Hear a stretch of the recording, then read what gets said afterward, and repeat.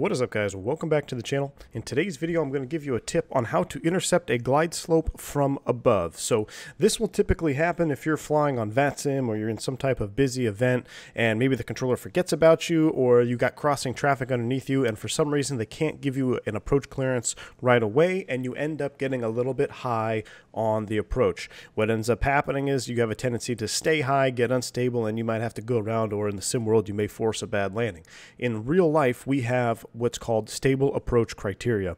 And at a certain altitude, depending on your operator, you must be stable and within those parameters. Some operators are 1,000 feet, some are 500 feet. For basic general rule of thumb, I think if you're in the sim here, you should aim for 1,000 feet to be stable. Now, what do I mean by stable? Being stable is going to be in reference to your airspeed and your altitude and configuration of the aircraft. So by a thousand feet, you need to aim to be geared down in the landing configuration, maybe flaps full to go, but typically you want to have your checklist complete. So flaps should be in the landing configuration, landing gear down, and speed on your approach speed, or there is a window that typically ranges from minus 5 to plus 10, or even in some operators, plus 20.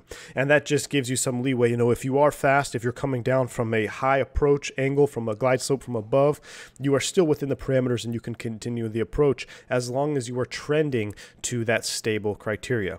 So, what we're going to do today is I'm going to simulate this for you here on the ILS approach into Dallas Fort Worth. Now, this happens in real life sometimes, and it happens a lot on VATSIM. I've noticed noticed the last time I did an FNO, I was left a little bit high on an approach. And I think this is an important tip that you guys will be able to learn and you can apply it across all three different airplanes. So the first step to getting your aircraft stable and capturing a glide slope from above is being aware that you are in a position to be high and fast. That is the first step to being in a stable configuration for landing is your knowledge and understanding that you're in a position to be in high and fast. So right now the aircraft is at 3,000 feet here. You can see we're going to be flying the ILS 177 approach in a Dallas Fort Worth.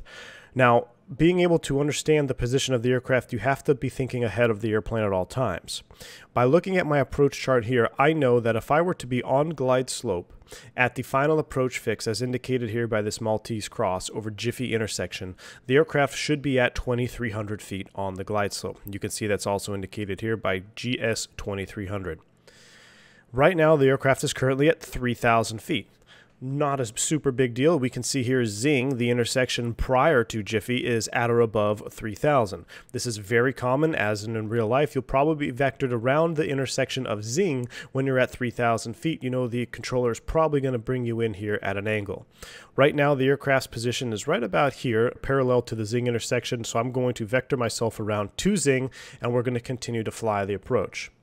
Now, you got to understand that there are two separate approach clearances, and it's very imperative that you understand the difference between both of them.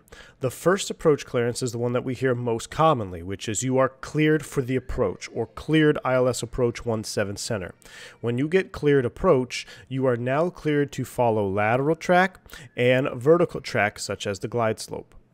If you get a clearance that says, intercept the localizer and continue the approach, or intercept the localizer, maintain 3000, that is giving you a clearance to follow the lateral navigation only, but not the vertical navigation, such as the glide slope in this case. So we would have to maintain our current altitude or assigned altitude from air traffic control, but we can track the localizer.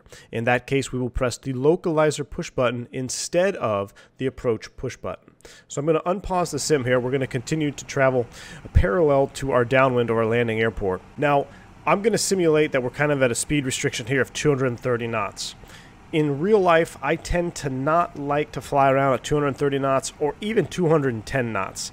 I'll keep it at 250 or whatever my assigned speed is until I get a base turn. Once I know I'm turning base, I like to slow the aircraft to 180 knots if practical. Now in this situation, we're going to go ahead and simulate that right here. We're going to say we get a uh, fly heading 030. So I know I'm kind of on a dogleg base turn as he's going to vector me into Zing. So right now, if applicable, I'm going to go ahead and just bring that speed back to 180 knots. Some guys like 210 or 200. You can do that, but from my experience of many years flying this airplane, 180 knots is almost a fail-safe speed. So There's my VFE next, minus 10 knots. We'll go ahead and extend flaps 1. And once we get to VFE minus 10, we can extend flaps 2.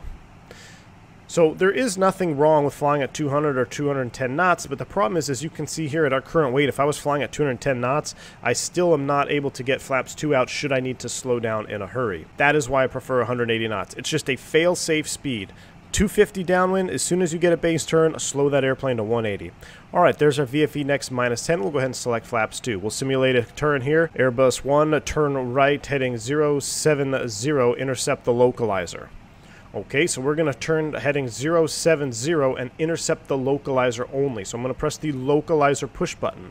Right here, you can see the local is blue. I should have my LS button on there so we can see the glide slope and localizer course as well.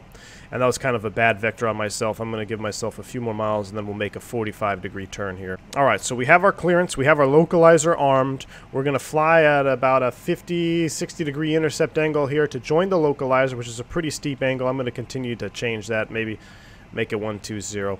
A good controller will probably get you a nice vector right along to that intersection line there to zing. Sometimes it's a little bit before, sometimes it's a little bit after. Okay, right here, I'm going to pause the airplane, pause the sim. Right here is when I need to start thinking ahead. I'm at 3,000 feet. I have a localizer clearance only. I know 3,000 feet is safe and totally fine because Zing is at 3,000. We're approaching Zing from the outside, so we really aren't in a position to be high yet. However, I know as soon as I pass the Zing intersection, if I don't have an approach clearance, there is a very likely possibility that I'm going to be a little bit high on the glide slope when I do get my approach clearance, and I'm going to have a hard time being at 2300 over Jiffy on the glide slope. All right, so how do I know this? There's a little simple mental math that I've been using throughout my streams, and if you haven't caught on now, I'm going to go over it one more time. And that's the basic three degree rule. So by looking at my approach chart here, if I'm at 3,000 feet and I want to cross Jiffy at 2,300 feet, I know my net loss of altitude is only 700 feet. Let's multiply that by 3, you get 21. Move the decimal over, you get 2.1.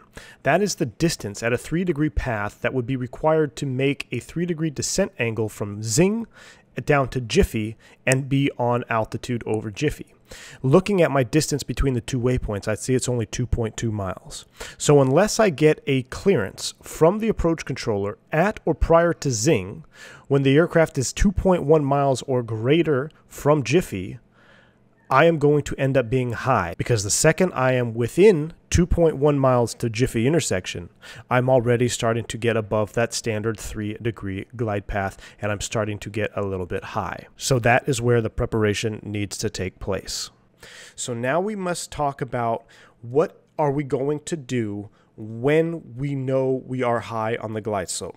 So there's a few steps that we need to take, and I'm going to go over them here because it happens very fast once you are in the position flying the approach.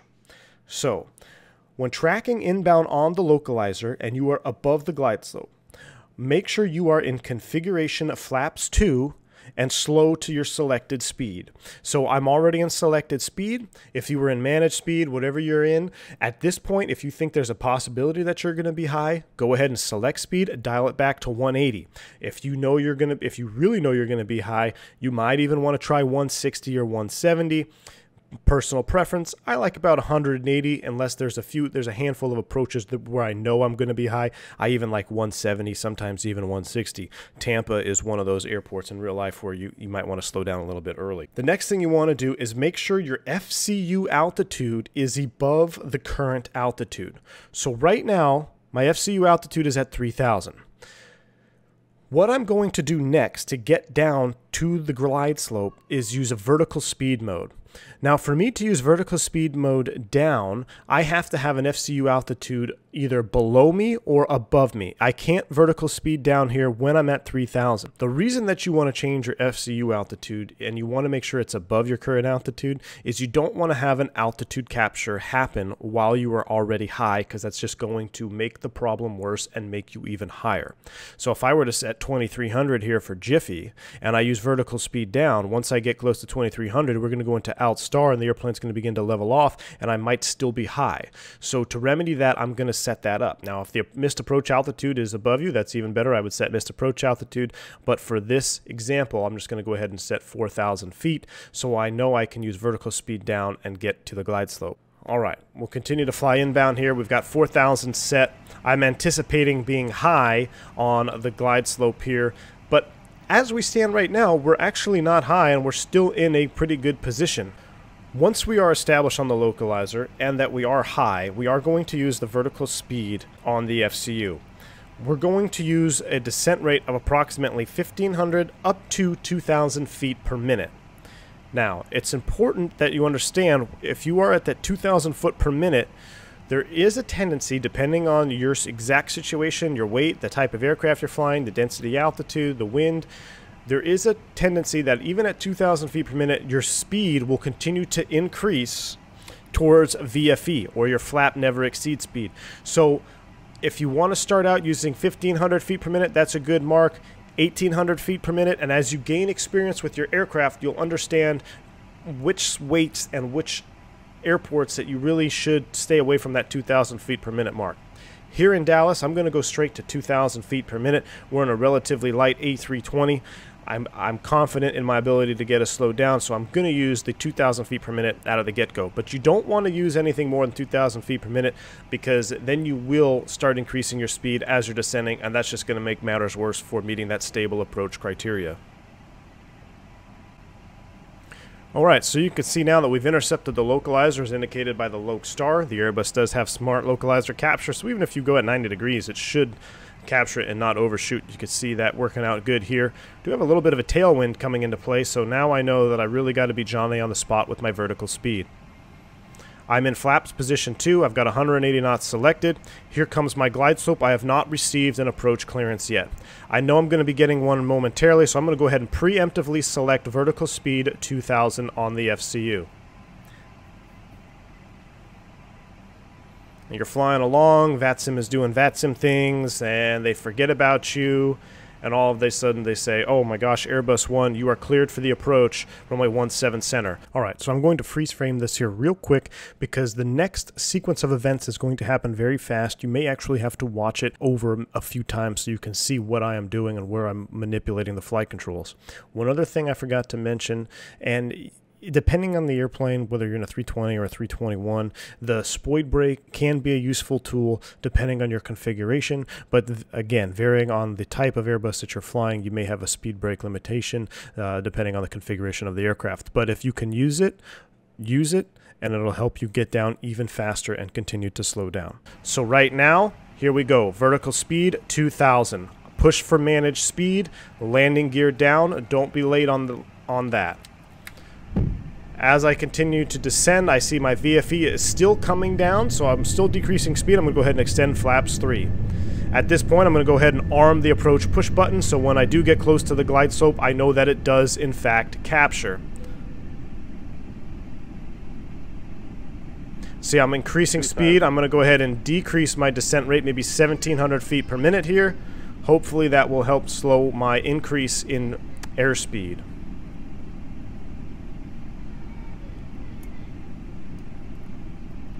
Use a little speed brake to help you out as well. Here comes my glide slope. There's VFE next, minus 10. We'll go ahead and extend flaps full. Speed brake is still out. Make sure you stow that before if you're in a 320. Look, glide slope star. I've now intercepted the glide slope. So here we go. This is how fast that has happened. In that few seconds of time, we have descended from a high altitude on the glide slope. We've now captured the glide slope and we have still continued to slow down. This is one of those phrases where you hear you can't slow down and go down at the same time. And for the most part, that is true. But there are certain situations and tools that we have in the Airbus here that will help us achieve slowing down and going down within a certain window of opportunity and being on a glide slope and being able to configure to the landing configuration is one of those windows of opportunity. It's also important to note that once I get glide slope star, I need to make sure I come back to my FCU and I set the missed approach altitude because I'm already kind of riding the wave here with my airplane on the approach. If I do have to go around, I want to make sure that we are ahead of the airplane at all times. The missed approach altitude on this approach is indicated here on the Jeppesen chart, and it says at or below 3,000 feet initially. So you could see if we left 4,000 feet there and then tower instructs us to go around and we climb to 4,000, we've just violated an altitude constraint and we can get a phone number from air traffic control and a pilot deviation.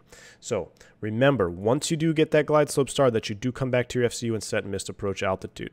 So we'll unpause. I've got 3,000 set here. And look at that. We're approaching a 1,000 feet and we are stable. We are config full. Landing gear is down. Our approach speed is v, VAP plus 20 and decreasing. So we are well within parameters of a stable approach and we can go ahead and continue to land the airplane from this position. That's going to wrap up this video. I know it was a lot of information. Hopefully putting some overlays on the screen will help you if you're taking notes or what have you. But again, remember, the whole purpose of this video is to give you the tools necessary to successfully complete a glide slope capture from above. Remember, you've got your vertical speed between 1500 and 2000 feet per minute. Make sure the airplane is already in config 2 or 3, depending on the situation, and make make sure you're already at a safe speed to conduct this technique between that 180 to 160 knot mark before even attempting to slow down and go down. Sometimes it happens in real life, sometimes it happens in VATSIM. Hopefully the next time it happens to you, you now have the tools and will be able to execute a glide slope from above capture. Until next time guys, I'm V1, stay safe, see ya!